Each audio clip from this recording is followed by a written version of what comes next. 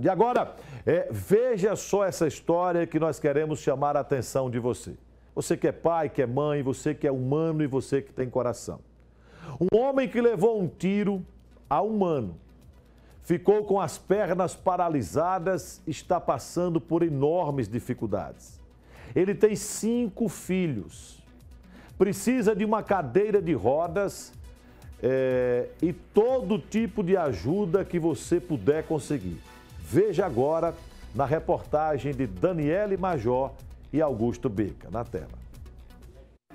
Nós estamos na Rua 7, no Conjunto Orlando Dantas. Nós vamos conhecer agora uma família que está precisando muito de ajuda.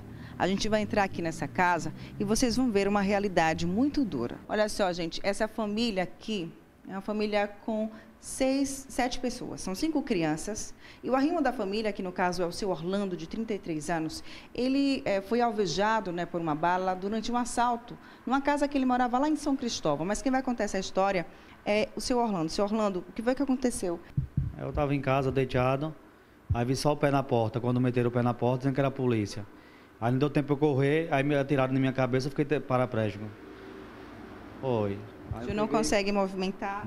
Não, consigo não. Nem as pernas, nem o braço. Por causa disso também não pode trabalhar? Não, aí estou dependendo desse benefício que eu recebo, porque não, não, não aposentaram, só estou encostado.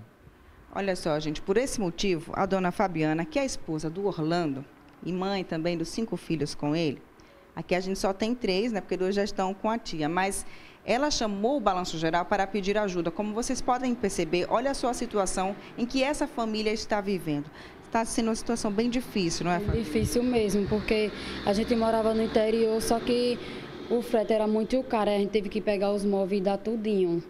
Aí nós está vivendo assim, dormindo, nos papelão, uns aqui, que ele, as meninas dormem com ele, porque não tem condições de dormir tudo. E a gente está sem móvel dentro de casa. Ele nem aposentado ele está ainda, que vai fazer um ano agora em maio, ainda vai ter que marcar perícia para fazer, para poder aposentar ele, que eu não sei porquê não, aposenta, não, não aposentar ele logo. Que agora em maio mesmo, a gente, a partir de segunda-feira, Aliás, porque segunda é feriado, a partir de terça-feira nós temos que marcar a última perícia para poder aposentar ele. Aí nós está com medo, né? Porque a gente paga aluguel e a gente está com medo, né? Quanto vocês pagam de aluguel? A gente paga 500 reais de aluguel. Então, um salário para viver todo mundo? Para viver para tudo. Vestir ou menos comprar comida para comer ou menos veste as crianças. As crianças dormem onde? As crianças dormem com ele aqui no colchão, eu durmo, formo um, um lençol no papelão e eu durmo. E meus dois meninos dormem lá no quarto, em um papelão. Essa tem sido sua história durante esse ano? É isso mesmo. Minha história toda é isso. A gente vai mostrar para vocês alguns cômodos da casa, só para vocês terem uma noção do que essa família está enfrentando, né? A necessidade realmente é muito grande. Vem, Beca, vamos mostrar aqui. Vou chamar a Beca para vir. Olha, essa é a situação deles, né? Poucos móveis. Eu vou pedir a Fabiana aqui. Fabiana, passe, mostre para você, para a gente a sua dispensa. Aqui já foi móvel que a gente ganhou de umas, é, que já foi móvel que a gente ganhou dos vizinhos e a gente conseguiu comprar essa geladeira de uma colega da gente, a gente deu 500 reais nessa geladeira, que a gente teve até que passar dificuldade para poder comprar essa geladeira. Porque todo dia a gente, o dinheiro que sobrava a gente tinha que estar tá comprando carne todo dia, porque não tinha onde colocar. A gente pegou, passou, apertou a barriga um pouquinho e comprei uma geladeira. Aqui já foi que a gente ganhou fogão, que a gente ganhou esse, esse armarinho. Minhas panelas não tem onde colocar, porque fica tudo ali no chão. Aqui é os quartos. Essa cadeira de roda dele não presta, porque aqui já foi emprestada e quebrou o pé. O pé quebrou, a gente teve que jogar no mato. A de banho tá ali que não presta também. E aqui é onde meus dois meninos dormem. O grande, meu filho de 16 anos, dorme nesse pedaço de colchão. E o outro, aí já é onde ele dorme. O de 16 anos dorme aí, aí junta com o papelão, aí eu formo um lençol grande e eles dois dormem. Mas é a maior briga de noite dos dois. É a maior briga dos dois de noite. Então, no caso, vocês precisariam tanto de alguns colchões ou camas e também uma cadeira de roda? É, para ele, porque a gente está com o papel do caso, só que já vai fazer um ano e a cadeira dele que a gente marcou, no que eu marquei, para ele ganhar do caso, não saiu ainda. O os médicos falou assim, que ele tem chance de andar, mas para ele ter chance de andar, ele tem que fazer as terapias. E a gente não está conseguindo marcar as terapias. Fisioterapia. É, porque toda vez que a gente vai marcar, nunca tem vaga. Tá até ali os papel. Essa semana mesmo eu fui lá, não tinha vaga ainda. Não está liberada ainda as terapias. A bala continua alojada, né? E a bala continua, continua aleja- alojada na cabeça. Obrigada.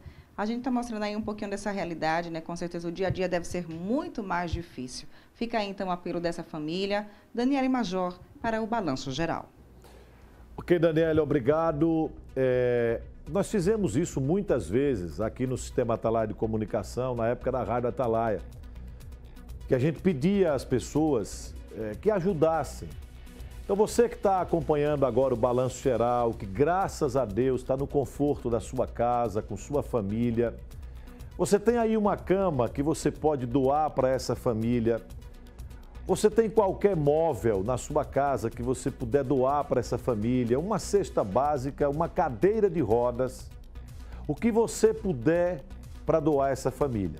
Você pode entrar em contato com o WhatsApp do Balanço Geral 996520105, o número que está aparecendo agora na sua tela, né, que a equipe do Balanço Geral da TV Atalaia vai aonde você estiver para buscar essa doação. É uma família que passa enormes dificuldades, o homem que recebeu um tiro na cabeça e a bala continua alojada na cabeça, que não consegue fazer fisioterapia, não consegue aposentadoria, passa fome.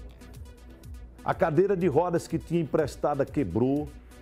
Pediu no caso uma cadeira de roda, a cadeira não foi liberada ainda. Enfim, nós estamos fazendo a você este apelo e você que puder ajudar, ligue, mande o seu zap para o zap do Balanço Geral, que nós vamos buscar a sua doação aonde você estiver, para a gente ajudar essa família a exercer um pouco a solidariedade que tanto caracteriza o nosso povo sergipano.